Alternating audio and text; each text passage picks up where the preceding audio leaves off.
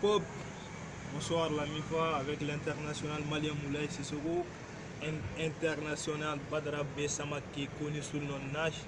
Ce soir, nous sommes là pour vous exhorter, exhorter les jeunes basketteurs maliens, africains et ceux du monde entier d'aimer le site internet international et la page officielle Africa Basket pour le meilleur basketball africain et mondial. Pop.